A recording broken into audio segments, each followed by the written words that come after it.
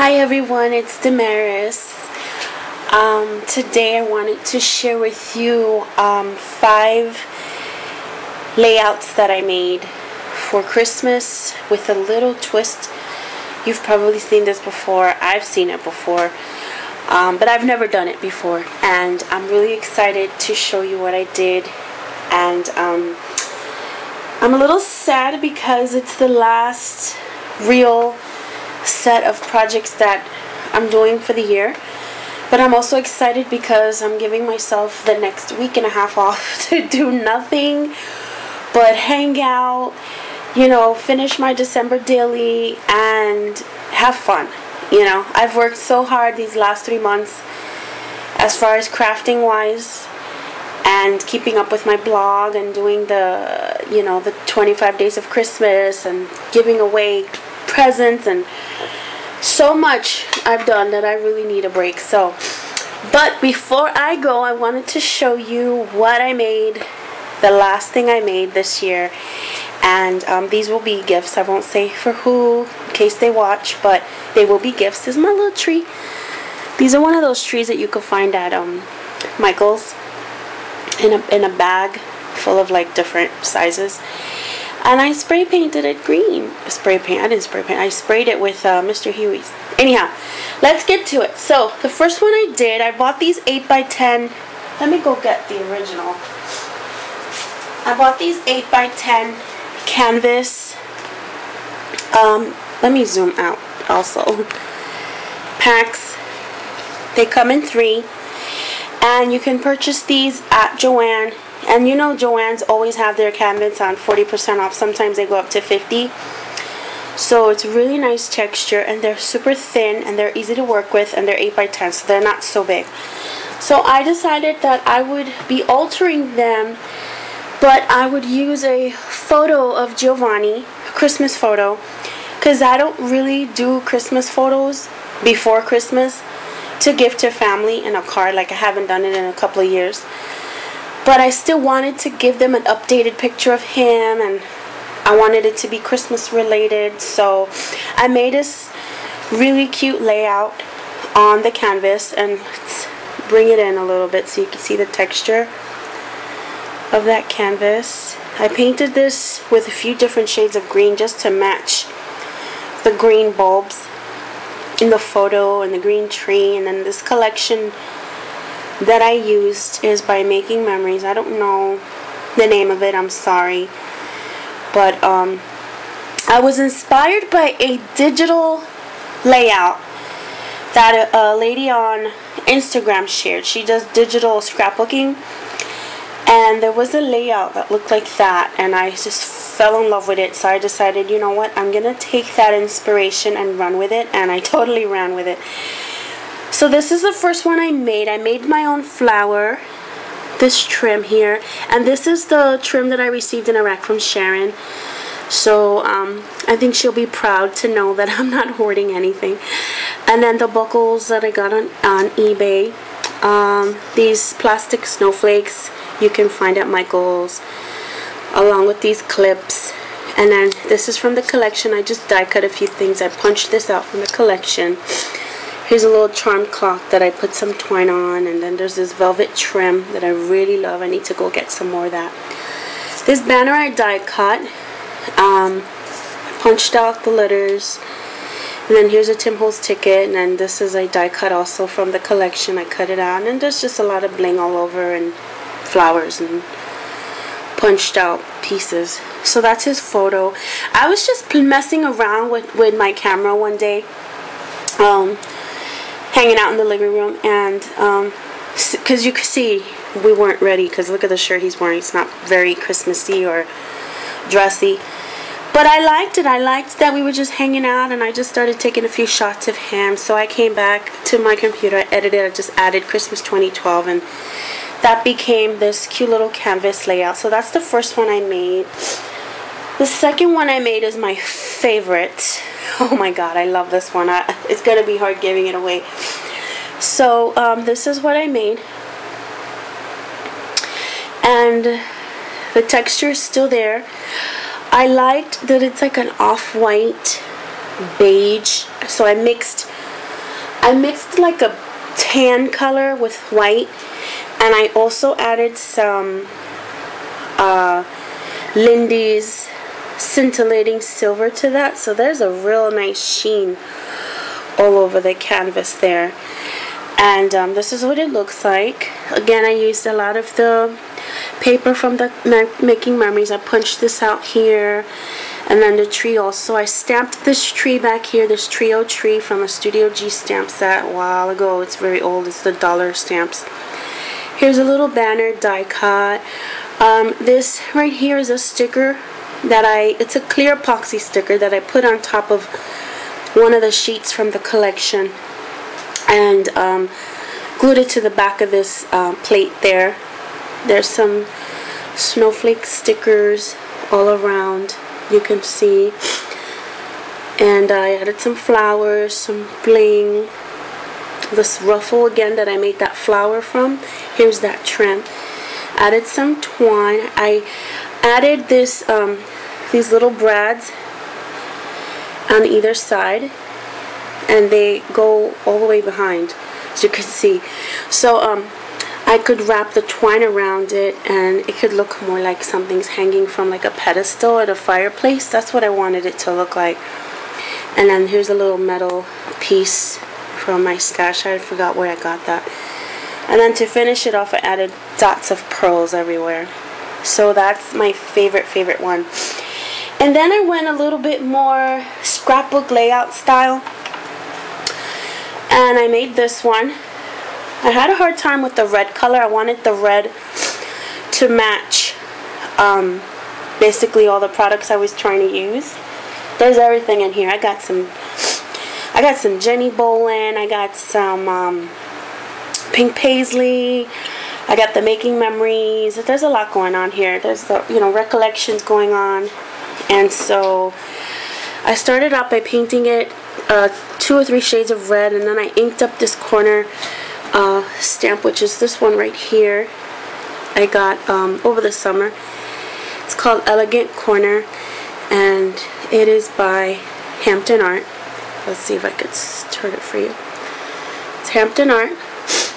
And so I also stamped it on the top over here with Memento ink. And then I did some stenciling.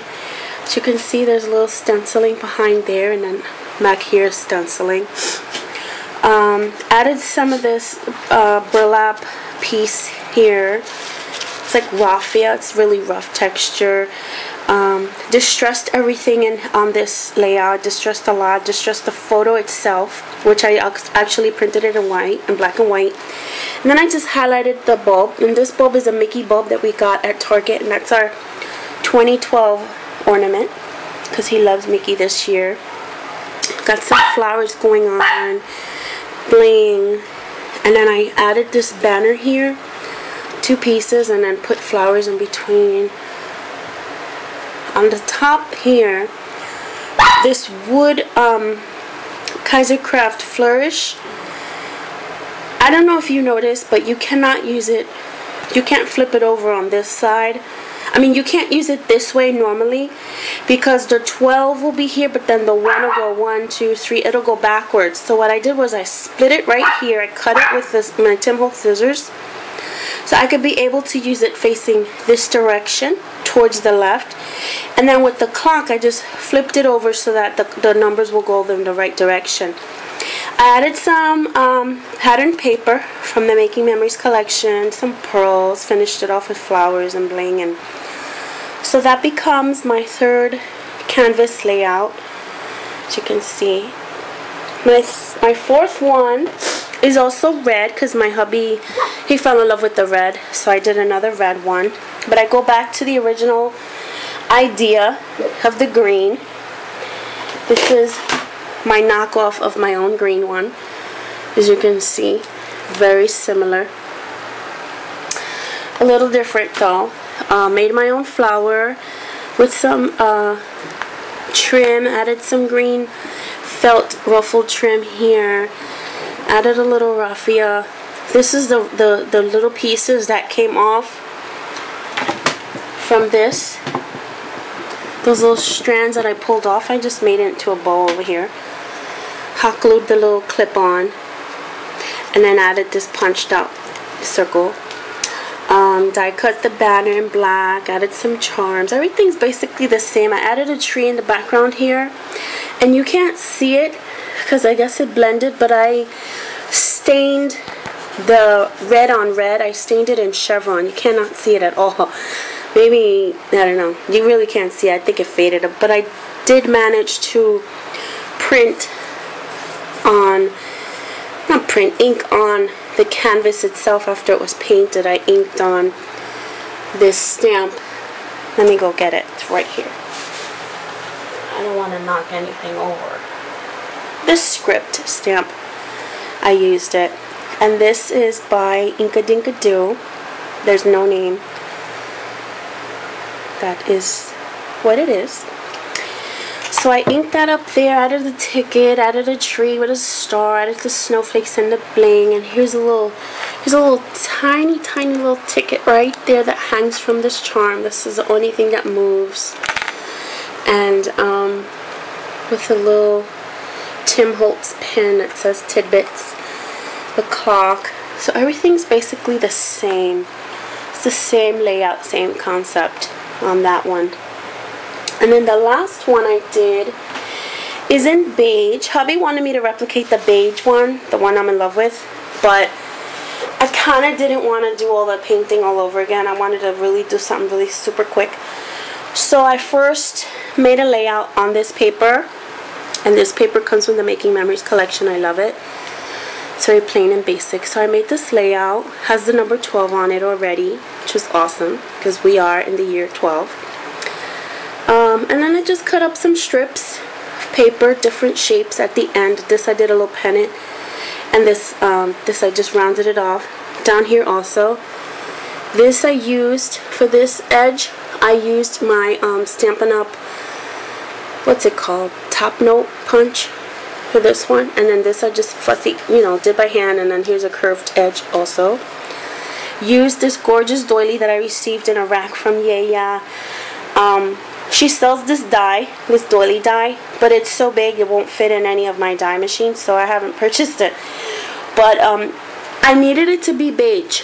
And I don't know if you guys know where I can purchase like off-white to beige doilies, all sizes. I've only seen them in white, and I know we can spray them, but I really, I wanted it to be so fast, this layout. So I just picked my last gorgeous beige doily that I had and I distressed it with black soot. Over here I added a, an array of different flowers that I received. I received this one recently from my friend Laura who I met at on Twitter and you can you know her as a bunch of scrap on YouTube and that's also her name on Twitter. She sent me some bling also which I used. Here's a little porcelain um, flower that I received from Sharon and just a lot of little things that I received from friends along the year. And then this right here, this Joy, is a, it's right here. This is by American Crafts and it is called Jingle. And they sparkle. They're very glittery. I love it. So I got those on Black Friday from um, Your Scrapbook Supply, Rhonda. And so that's it. That's this same photograph in black and white. It's the same exact one, except it's in color. And now these are our new colors for our year, for this year. Green, red, silver, and white are our new colors for 2012. Every couple of years we change it up. So that is the last layout. It's very simple, very classic, and yet they could I was thinking of hanging it up with like string from the top here but I kind of want it to look more artsy so we're gonna go purchase the stands that, that come down here and you could just sit it on your mantle or you, you put it away and bring it out every Christmas or just leave it up all year long however you want so those are my five pieces of art and I'll show you again what they look like and I loved making those. It was so fun. And it was pretty easy because it's an only an 8 by 10 you know. It's not so flat, like it's very dimensional. It's very 3D. You know, I used lots of different um, techniques. And also, it's an art piece, you know. You could display it and you'll have friends come over and say, wow, what is that? For people who really aren't into art, they don't know what scrapbooking is. It's a conversation piece. So those are my five little layouts. I hope you guys enjoyed it. I hope you guys have a wonderful Christmas. Stay safe. Please don't drink and drive.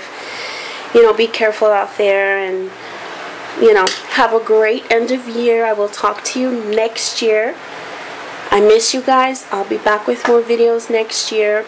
And I do read your comments and I appreciate all the comments you leave me. And um, I miss you. Alright. Talk to you soon. Bye, guys. Have a wonderful Christmas.